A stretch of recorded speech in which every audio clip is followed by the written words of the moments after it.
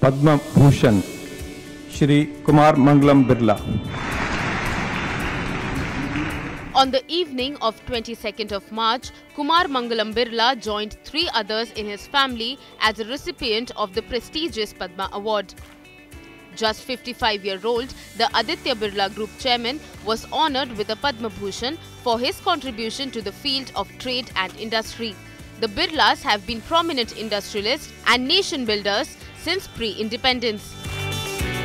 His great-grandfather G.D. Birla was awarded the second highest civilian award of the country, Padma Vibhushan in 1957 for his contribution to trade and industry.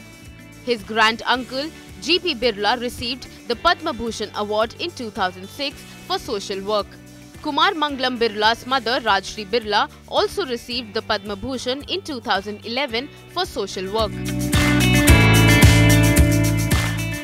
Lata Mangeshkar, who passed away last February, represented a family of eminence in the field of arts.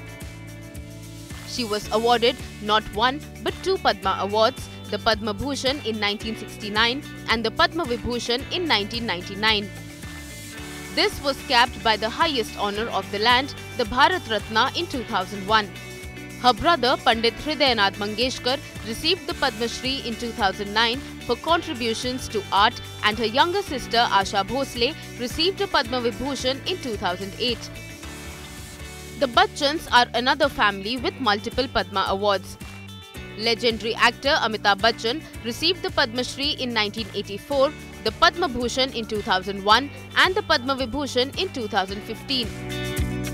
His father, noted poet Harivansh Rai Bachchan, received the Padma Bhushan in 1976, while Jaya Bachchan was honoured with Padma Shri in 1992. Aishwarya Rai Bachchan also received the Padma Shri in 2009.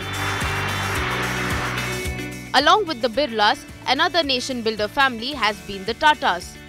Ratan Tata is a recipient of the Padma Vibhushan and the Padma Bhushan for his contribution to trade and industry. His uncle and predecessor J.R.D. Tata received the Bharat Ratna and Padma Vibhushan. While Naval Tata, Ratan Tata's father, received a Padma Bhushan for contributions to social work in 1969. Bureau Report, Business Today Television.